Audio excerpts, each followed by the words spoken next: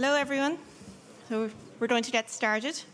Um, so today I'm talking about multilingual um, and the lessons that we learned from building a rather large multilingual and multi-region website in Drupal 8 um, earlier this year. So a bit about me first. Uh, my name is Stella. I've been involved in the Drupal community for, I don't know, longer than I care to remember, uh, 4.7 days. I was originally a hobbyist, so I did this as a hobby in my spare time, and then I went to Drupal Szeged and realized other people were making careers out of it. So I started my own company, at which point I stopped contributing really and started working. Um, so I'm mainly a, originally a back-end developer, but these days I'm mainly managing a company. But ever so often I get to work in a project, which is what happened earlier this year. So just a bit of a background about the project. Um, I won't be really touching on it again, but it was for an Irish multinational. They were launching a new brand across the globe, not just in Ireland. And they wanted four different regions and 13 languages, distinct languages. Um, so they, the content in North America was different for, than the content in Europe, even though they were both speaking English. So that's what I mean by multi-region. So just to briefly summarize what we're going to go through today, time allowing. Uh, first, how to configure your languages and what language negotiation means. Translation versus localization, and there is an important difference, especially if you're using the paragraphs module. That's not me. okay. Um, so just some of the, the pains uh, that we encountered there, how to translate stuff, uh, yeah, the joys and pains of translating paragraphs, and uh, menus. And if I have time, I'll go more into the, the multi-region stuff at the end. So first of all, getting set up. Um, who here has used Drupal 7 multilingual? Raise your hands. Okay, good. Because this isn't a beginner session. so Drupal 8 has come out, and there are four modules you, you need, or you don't have to use them all, but four of them in Drupal core. You do not need the internationalization mo module. You do not need I18N. So this is fantastic. There's four main modules. Um, I'm going to start at the bottom. Language essentially just allows you to add another language to your site. So if you're just going to do a, a single language site, say in French, then you can just add that. It will download the, the French language pack and you don't need the other ones. Interface translation then allows you to translate the system strings. So say like there's text that's defined by the module that you're not able to configure, like say uh, the search button text, it allows you to translate that. Then there's content translation, which allows you to translate, translate your entities, um, your nodes and taxonomy terms, and then configuration translation, which I guess is the equivalent of I18N variable in uh, Drupal 7. So it allows you to translate configuration strings that you might enter when configuring a module. So first of all, you need to add your languages. So this is the, it hasn't changed much from, from Drupal 7 really, it looks slightly different, but you can add new languages. Now this drop-down in the screenshot is just set to custom language, but you know, French, German, Spanish, all of those there, and you can pick those, the one you want, and when you do, it will download the language pack from localize.drupal.org. However, in our case, we were doing multi-region, so we had to define different language codes like ENGB for English in the UK and EN, well, we just went with EN for the US. Um, so, I don't know, we did Spanish in Latin America, Spanish in, in Europe. There were different language codes that we used. So that allows you to do that. And then you, if you want, you can download the regular Spanish pack uh, and then import those strings into your custom variable just to give you a head start. So these are some of the languages that we had. So English, North America, Asia Pacific, EMEA, Latin America. It went on. Couldn't fit them all on the screen. We also had Russian and Chinese. Um, I got pretty good at not necessarily reading Russian, but at least being able to figure out the character combinations that made me do what I want. So language negotiation, if you've, a lot of you have used Drupal 7 before, so I'm not going to spend much time on it, but it's basically when you, a user comes to the website at the naked domain, so how do they know, how does the browser know, how does the website know which language to return? So the first thing that we've done is to set it to the URL. So if you have come and you're requesting um, example.com slash en, then you're going to get the English version. If you go to example.com slash fr, you're going to get the French version. So we'll check that first. If that's not set, then we have configured it to be, in this case, the IP address. It'd be probably more standard most sites to use the browser. So if the user has um, configured their preferred language in their browser, then it would use that. Um, but as we were doing IP address, I said in English in North America is different than English in Europe, then we couldn't just rely on the browser settings as they would just get English, and we needed to know which English. So um, the IP address one um, by the IP language negotiation module. So that was an add-on that we used, and it's one that we ported to Drupal 8. So I just want to briefly talk about the difference between translation and localization, and it will become important later because it really, you know, caused me a lot of pain. um, and I don't want you to fall into the, the same mistakes. So, translation in my head is you have a copy of your content in English and you want the exact same thing, just translated like for like, word for word, into French if you have a view and you're returning all, you know, say latest news articles in the the current language, then it will return them all in French, say. Um, but if it finds a node that has not been translated into French, then the normal process is that it will just return the English version because that's the one it has. That's the master copy or the source, say. That's pretty much okay by and large, as long as you're not using paragraphs. So I'll come back to that. Localization is when you have content in the same language, but it's targeted to different locations. So you're localizing it to the region. So you're localizing English to North America or English to, to Europe. The content often diverges. So in our case, the solutions or services offered by the client were different. They offered different solutions in Europe than they did in North America. As a result, their menus also changed. And I'll come a bit more into menu translation later on, but that, it's an important difference that the menus actually changed the links that they had. So, adding translations. I'll start first with the, the system strings. It hasn't really changed since Drupal 7 you you know you enter in the part of the string that you want to translate you find it in your language that's missing and you translate the one thing to watch out for here is that it's case sensitive so um, we our clients were translating and they didn't, didn't always notice that they had to enter it in perfectly in the same capitalization and spacing so trailing spaces and stuff like that can really mess things up so for who here has used entity translation in Drupal 7? Okay, about half the room. So Drupal core in, in, Drupal 7 had the concept of, I think it was called content translation or node translation, which was essentially when you translated your node from English into German, then it would create a brand new node, give it a new node ID, and then it linked the two in the database through a translated node ID or a TNID. So that's gone. Instead, we have what essentially was entity translation module uh, in Drupal 7. That's now in core.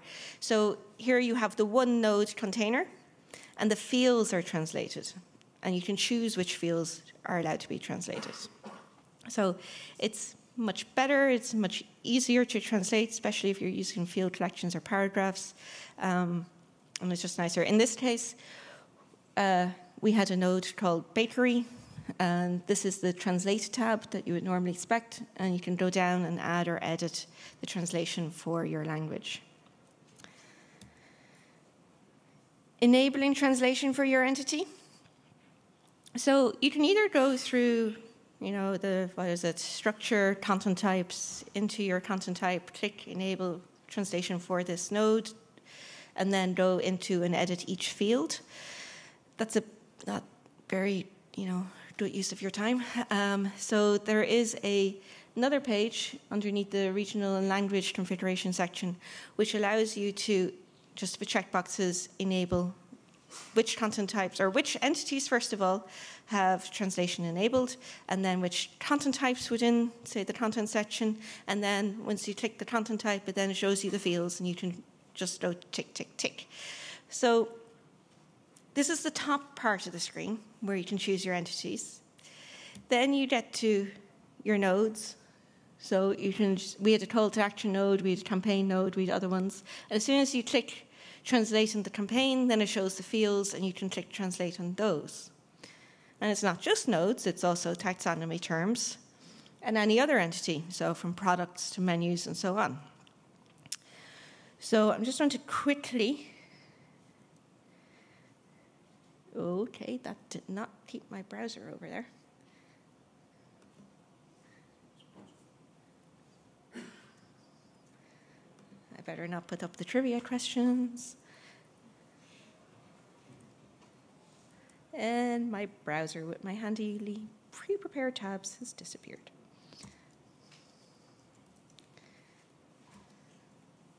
So, hmm? On there again. Uh, this is a old test site, so you can ignore the security warning. Uh, so configuration regional language. So, content language translation. Let's see if I can make that bigger. Can you read it at the back?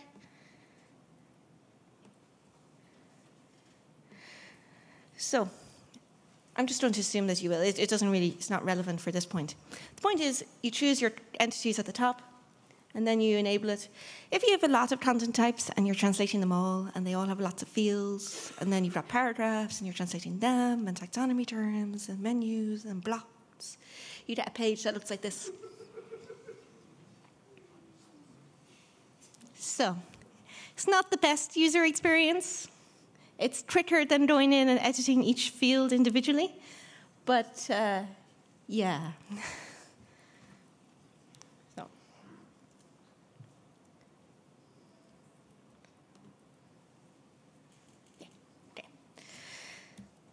So menus.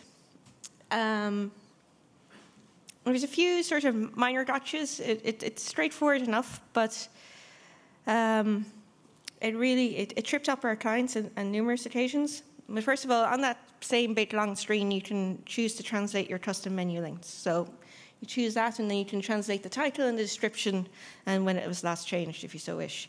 That's fine. Um, when you go into your menu configuration, you get a screen like this. So you can see your menu items, and then you've got this translate menu at the top, which it kind of has the design, same design pattern as when you go to translate a node. It has the translate tab bes beside it at the top. However, if you go and click on that translate menu, what you're actually doing is translating main navigation and site section links. You're not translating the links within the menu. You actually have to go and click on the drop down button besides each link and click translate on those. Um, the other thing to watch out for, which I alluded to earlier, is straight you can translate menus links, but there are some things that are the same across all languages. So you'll see, and I just included, you know, handily all languages in brackets after it. I just didn't notice it at the time. Um, that you know enabled all languages and shows expanded all languages and the link all languages. So if you change that, it affects all your translations across the entire site. And what happened with us was they had different solutions. They had solutions or services in their menu, and we they had different solutions in different regions. What we ended up having to do was cloning the entire menu and translating it again, just so we could change the link and remove one solution from the menu. And there isn't a workaround for that. You just have to do it. So, just watch out for that. So, who here has used paragraphs? Oh, Duddy. Who here has used paragraphs in Drupal 8? Yay! I love paragraphs. Um, paragraphs is where translation gets messy. Um, so it's worth taking it back a bit. Um, okay, so when I mean, with entity translation, when you translate something from English to Irish or French or whatever, you have the same node ID, and you just have the just sort of different aspects. I think I like to think of it as different views in on the node, and just the fields are translated. And that's fine, and that, that's not, not just for nodes, for entities. So paragraphs are entities in their own right. So the recommendation for paragraphs out of the box is that you don't translate the paragraph field, but you translate the paragraph entity. Yeah, yeah, I'm sure I got that right. So what ends up happening is you have one paragraph with the one paragraph ID with different aspects, just different fields on it translated, which is fine. Until you actually want to change the paragraphs that you have. And by change the paragraphs, I mean you want to remove one, or you want to add one, or you just want a different image or something on it. If you need to reorder them in one language over another language, then this isn't working because the reordering affects all your language versions. And if you remove one, it removes it from all the languages, not just the one that you're currently translating. Similarly, if you want to add one to the German version of your site, you can't because it's going, uh uh-uh, uh, you are not allowed to do that. So there is, you need to do localization. You need to translate the paragraph field, not the paragraph entity. However, to do that, you need a patch. Um, and it's not fully stable. Well, actually, the patch works pretty well, and we've been using it for six months. It just doesn't have tests, and other maybe some edge cases aren't out. So I will say use at your own risk, but it has been in production for us for six months, and it's been working perfectly. However, I mentioned that it's important to get translation versus localization right at the beginning of your project, because we didn't, and what happened was we went, okay, right, we need to translate the field, not the paragraph entity. Let's go change our configuration and that long list of things. And once we did that, all our translations went poof and disappeared, and they all reverted to English. And we had, we were still not in production, which was fine. We were close to production, which was not so fine, and uh, it had two months of content added by the users. So uh, the translations were still there. They were in the database. They just weren't able to be accessed. So we had to do a little bit of hacking and database hacking and fix it. So I really just do it right the first time. It's a, it's a worthwhile conversation to have with your client, and we've just we have actually had this conversation with clients. Like in Ireland, public sector bodies, you have to produce your websites in English and Irish, or at least as much Irish as you can get away with, or as little.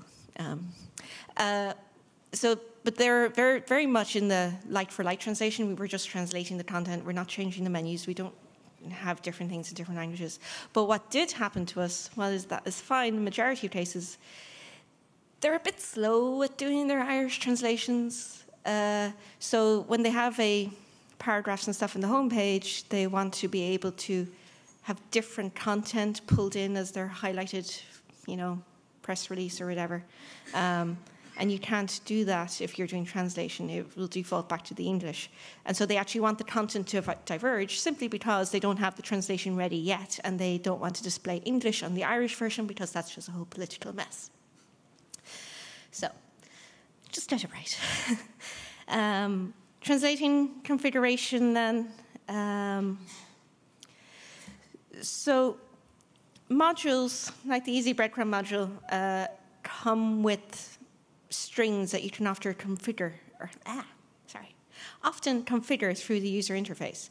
So this was a, a very simple example, but with the Easy Breadcrumb module, you can configure the text for the home link, and you can say, you, you know, that you want to be home or you want it to be something else. I don't know why you wouldn't choose home, but anyway, you you then need to translate that though. Um, so this module, at the start of the project, we patched it and, and contributed it back. Uh, it didn't support uh, translation.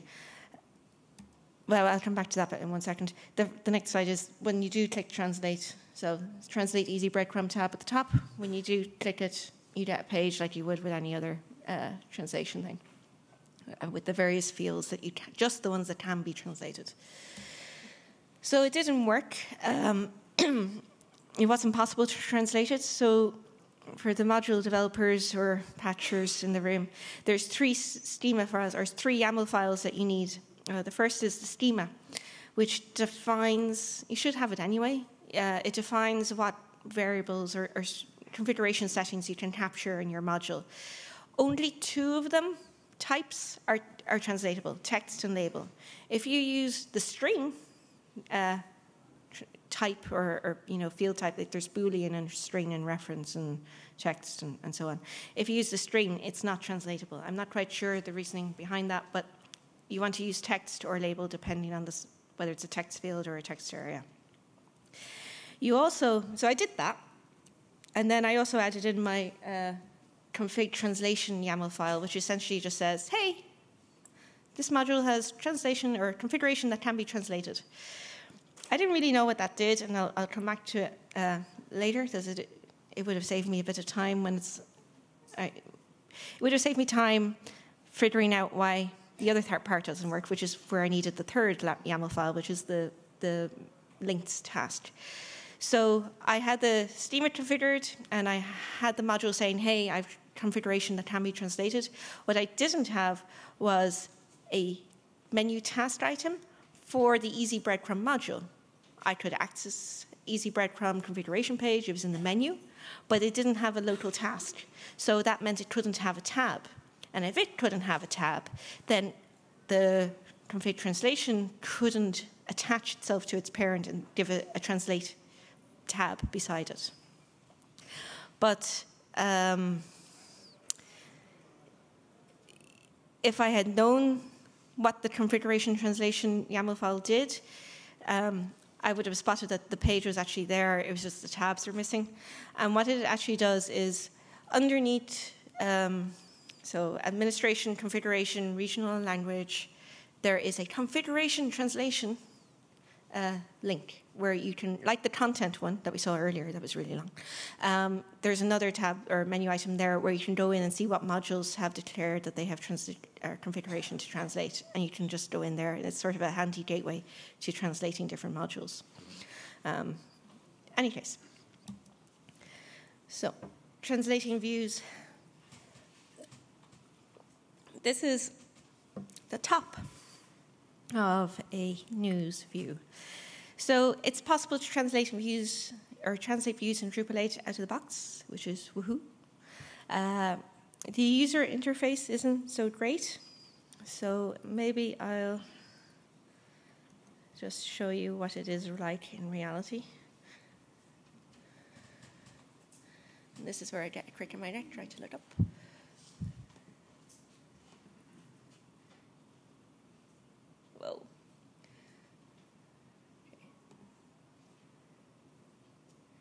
So where's the news? News, news, news and resources. So you can just go here and translate, or you can go in and edit and then hit the translate tab. And then you pick your language. So this is the views configuration. Uh, we have, I can't really see it. Uh, but you've got the different displays, I'm guessing, over here. You're right, it really is difficult to see the screen from here. um, so you have your master display have your master display settings, and there's a lot of clicking in. So if you have exposed filters, you eventually get in here and you can change the search button or apply button. Um, uh, you eventually can click in and you can change the options for page text in the pager, filters. Uh, yeah. There's a lot of clicking or nested stuff that goes on. If you want to change the text that appears in the menu, then you have to find a page display. I can't see whether these are page displays or not. This one is. Yeah. And then click. And somewhere in here, honest. Uh, there's a lot of clicking. Anyway, somewhere in there, you can translate the menu item and so on. And it's just, it, it's great that you can do that, but there is a lot of nested clicking into it. The other thing to watch out for is if you've got views exposed filters, and say you have a views exposed filter on the taxonomy tags directory or, or taxonomy term, you actually have to go to structure taxonomy types, find the tags, and translate them there, not in the view, which makes sense when you think about it, but um, it can be a bit confusing. I'm actually doing pretty okay for time. Okay, uh, so localization. Uh, so yeah, as I mentioned earlier, this particular site they wanted different, the same language in multiple regions. So they wanted it in English, as I say, English North America different from English EMEA, different from English Asia Pacific, and, and so on. So just uh, this doesn't come out of the box. So there was a little bit of just custom configuration and a, a, tiny bit of a glue module just to, to put it together. So how we approached it was, as you saw earlier, we added multiple languages in the ENUS, ENGB, and so on to get all our different languages. Then we had a taxonomy region, or for the region. So we had four taxonomy terms being EMEA, Latin America, North America, and Asia Pacific. For each one, we configured the allowed languages or the enabled languages for that region and the countries in each region. We used the IP language negotiation, uh, whatever, module to, uh, we ported that to Drupal 8, and so that would detect your IP address with the IP to country module actually. Um, that would map, so the IP to country matches your IP address against a country database, and then the IP language negotiation module determines which country that is and then returns the correct language. And then we also had to have menus, different menus per region. And then we also had, yeah, we had a, a small little module that added a block to make the taxonomy region term into a drop down that when you changed it would automatically submit and change the user's language. So this is the taxonomy term.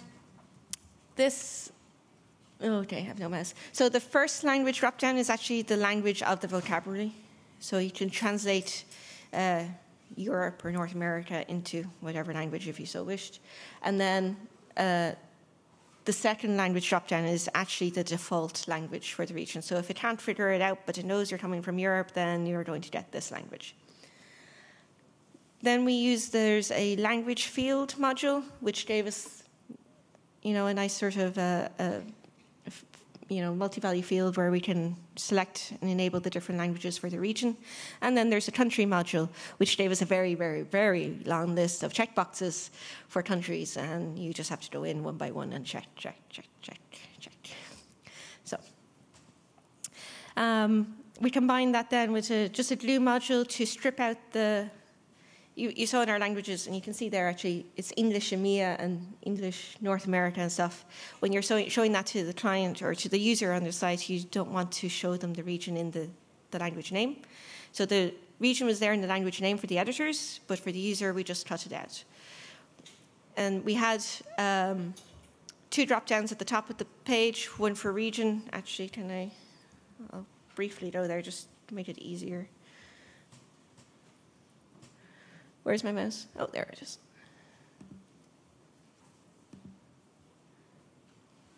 So um, you have your region drop down and language drop down that's enabled. So North America just has English and Spanish.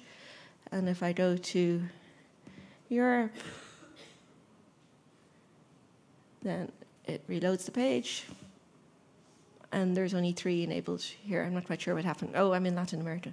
Um, so, uh, where was I going with that? So that was one.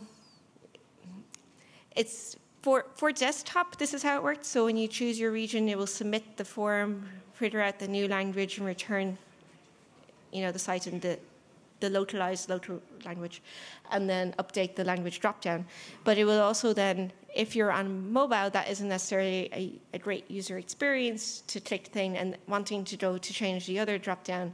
Um, so we have a different workflow for that with a, an actual submit button. So, find my mouse again. So some useful information, and this is really where uh, a touch on all the pain points that we had. So in Drupal 8, uh, the new default caching, and somebody can correct me if I'm wrong, but it's fast chaining, I think.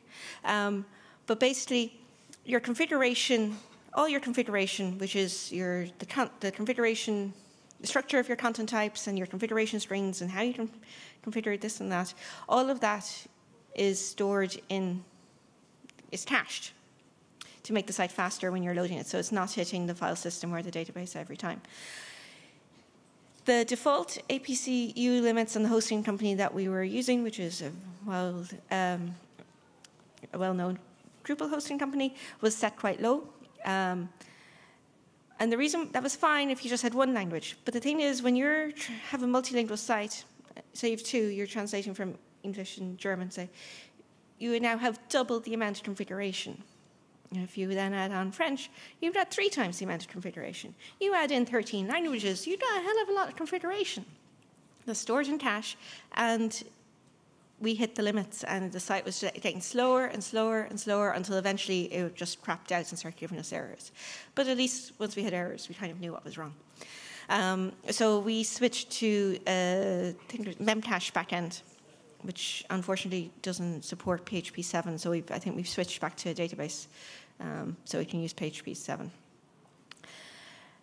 Then, as I mentioned earlier, paragraphs, get, you, get it out, figure it out right first, whether you're using translation or localization, because if you get it wrong and you have to switch later on, you're going to lose your tra translations. They'll still be in the database, but the users won't see them, and it's, it takes a lot of messing around in the database and in the code to try and rebuild the links afterwards. So have the conversation with your client and ask them particularly about, well, what if the translation is not available in that language on a landing page and those sort of things where you might use paragraphs more.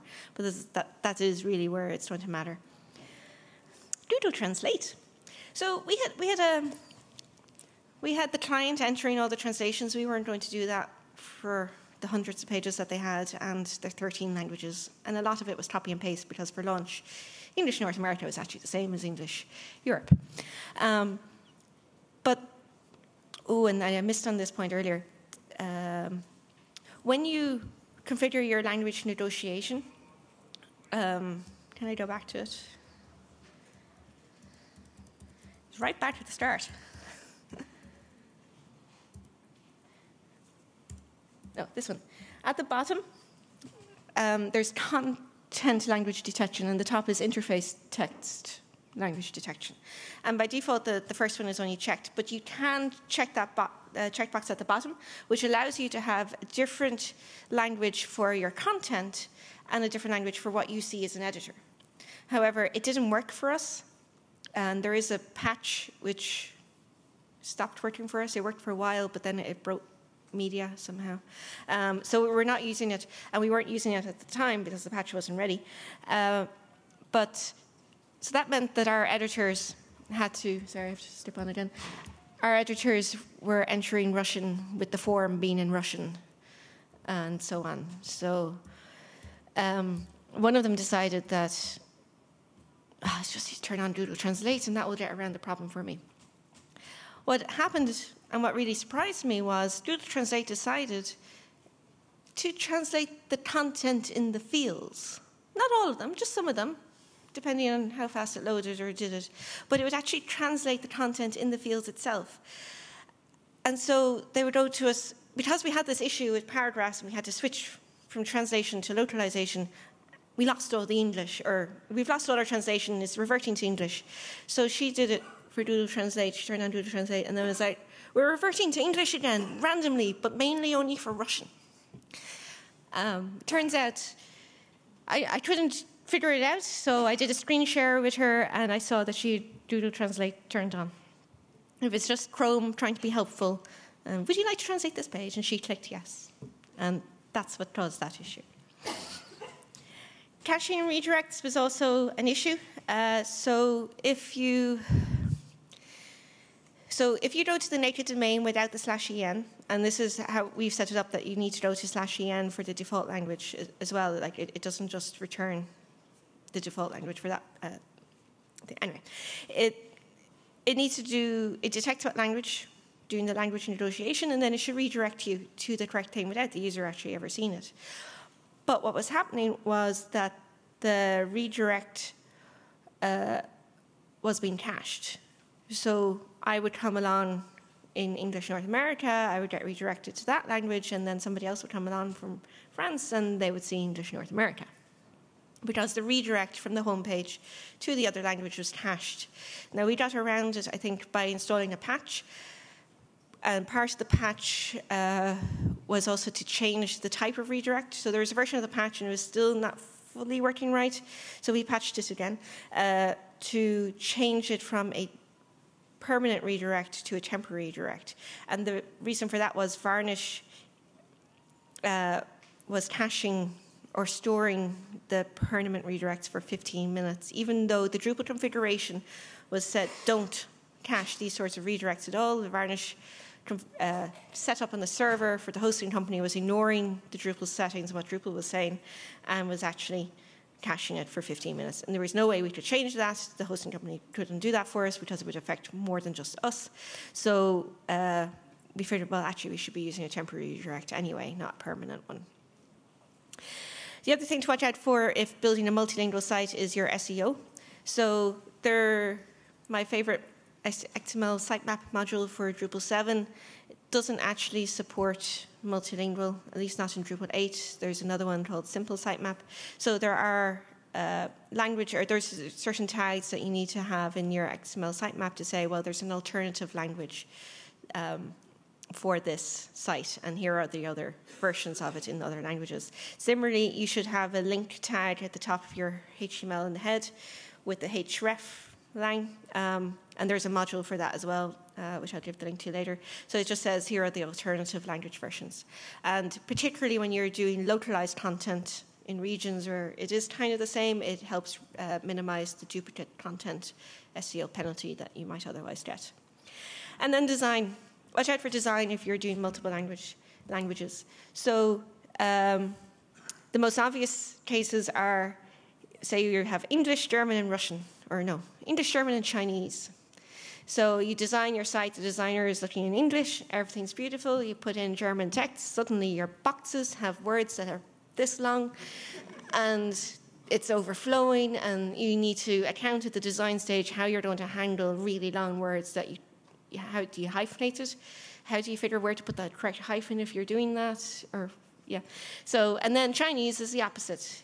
The long words become really short those are only three characters or four characters long.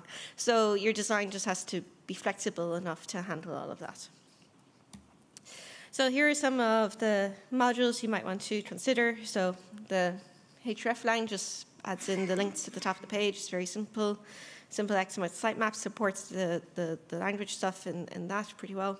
We use the language switcher dropdown because with 13 languages, or even when you cut it down to the to just your region, there's five or six, I think is the most in one. You, you don't want the links, which is the standard out of the box with Drupal core.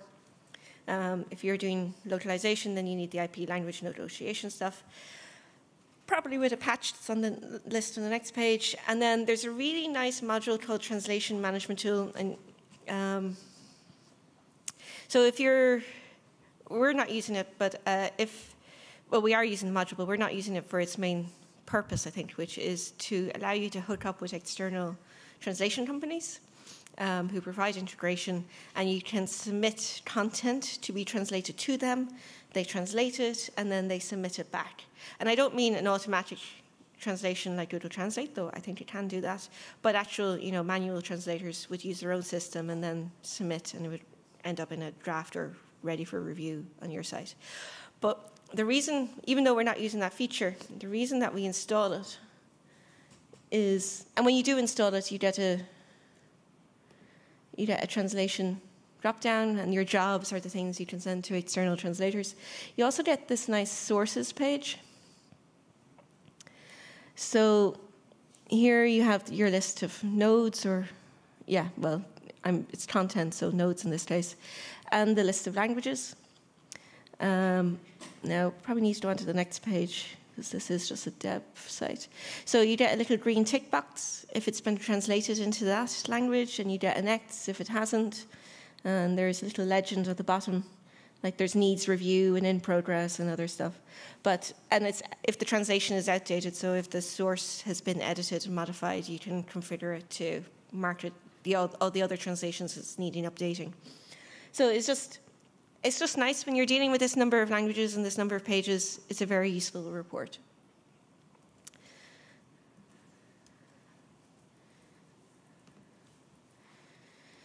Um, so the patches that we used, uh, so the first one was to fix the content versus interface language negotiation. We couldn't quite get it worked for a while, and then uh, some update happened, and well, it, it just it worked, but it, it, didn't work with the media or image uploads stopped working or something. Um, I, I can't quite remember. And then the second one is for the preventing it to cache the redirect to the correct language. Uh, there is the patch, which is still in the needs work uh, thing for paragraphs to support localization. It has worked successfully for us for six months now. Uh, it is missing tests.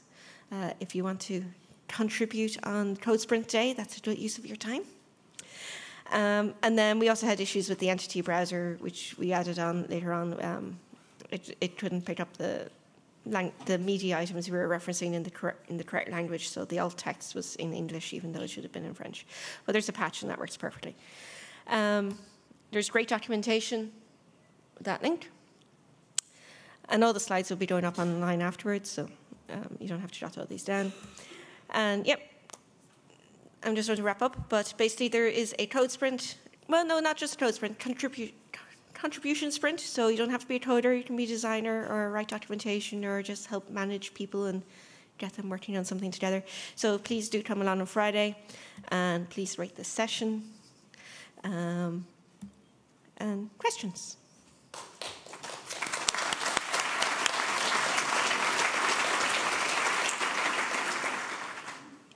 For the questions, if you could use the microphone in the middle of the room. When you were trans when you were translating the view, you were in the views UI to do yeah. that.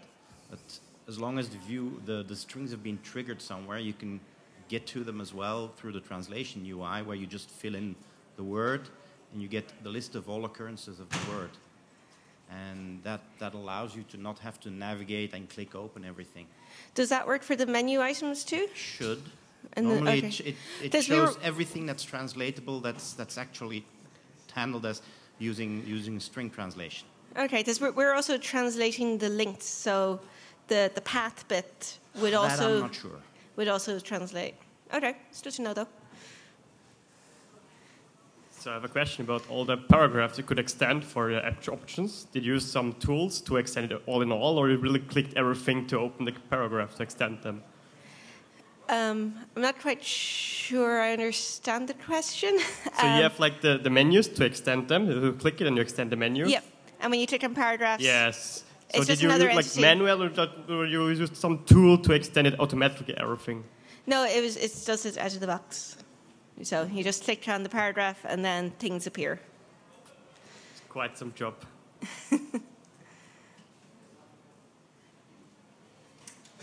Hello, uh, thanks for the presentation. I had two questions regarding this translation mechanism. The first one is for the translation of files, because in Drupal 7 you couldn't really translate file entities. You could translate the title and different other, other fields that were attached to the file, but you couldn't say that my PDF A was the translation of PDF B. And is this now addressed or going to be addressed somewhere in this Drupal 8 track? Uh, I'm not quite sure. Like we, we didn't deal with PDFs in this site. It was images, and they didn't have text in the images. So like files are entities in, in Drupal 8, so it should work, and you should be able to translate the image, like image or file. You should be able to say that for this translation you can upload a different thing to replace it. So I think it should work, but uh, don't hold me to that. it's not okay, something I've tried. You. And then my second question is um, okay, we have fieldable entities which are translatable by field. And what about the, the, um, the, publication workflow? Is, is now possible to, to, try, to have a publication workflow per language, or is it always for the entire node? We didn't do it on this site, uh, but we have done another one since on a simpler site, and it was you were able to to lock it down. I think we were using the workflow module rather than workbench. Mm-hmm. But I mm-hmm. can find out for you if you want. Um, I wasn't involved in that one, but it was possible for them to have to have a certain language was in draft while the other ones were published. Yeah, and not to revert all languages at once, for example. Yeah, I don't think you had to do okay. that, but I can check that for you. Okay, thank you. Thank you very much. Uh, how do you handle uh, and manage uh, the interface translations? Uh, do you are using uh, POTX to uh, export languages and create PO files? So when you say which translations are you talking about? The the, the system strings or system strings? Yes. The system strings are not configuration; they're stored in the database. Um, you can export them as a .po file and upload them to localize.drupal.org if you want to contribute them back. Uh, but you, yeah, you, you don't uh, have any experience with POTX. With POTX, uh, it's a uh, yeah, the the, the POTX or whatever. POTX, yes. Yeah, so like you can download those from localize.drupal.org, but we're not storing them because we we don't want to store them. Um, or maybe we are, maybe they're in it, but uh, they're we, we don't keep them up to date because once we've got the, the key strings that we want to translate it, we don't really go back. We contribute back if we can, if they're for a contributed module or core, um, but we don't maintain the PO files. Okay. Does that answer your question? Yeah. With uh, XML sitemap, after you generate all the versions for other language, do you actually submit uh, to the like Google? Yeah. So um, the simple XML sitemap or simple sitemap, whichever it's called, it doesn't do the auto submit. So XML sitemap was nice in that you could resubmit your content every day. I don't think it does that. But so you can manually log into Google Webmaster Tools or Bing Tools and give them the URL and they'll crawl it every so often. And, and you just have to do it once because it links to the other ones, so you don't have to do it for every language. And does it help in terms of uh, localization if you submit into Google uh, Webmaster? It in doesn't hurt. um, I think it helps because it knows that there's more versions of the same page in different languages, and there's, just more things to crawl. Um, I'm not quite sure what way XML sitemap does it, which is it, there, there is a risk of, of duplicate content penalty. Um, yeah, I'm, I'm, i think it helps. Like, it's not going to hurt. So. Thanks. Thank you. Uh, thanks for the presentation. Uh, maybe you don't use the web form module, but that has a very handy uh, interface for translation where you can translate in the graphic user interface uh, translate uh, the strings in YAML code. But have yeah. you come across similar interface for other translation? No. And I have seen that one for web form, but no, I haven't seen it anything else. Thank you.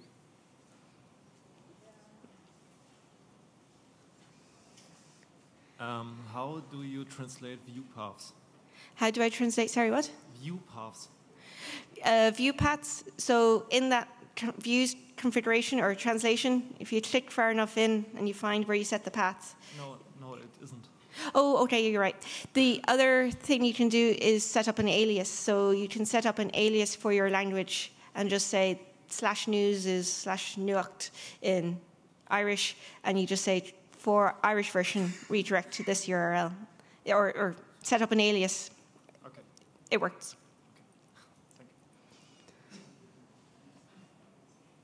Okay, well, if there's no other questions, we'll leave it there. Thank you.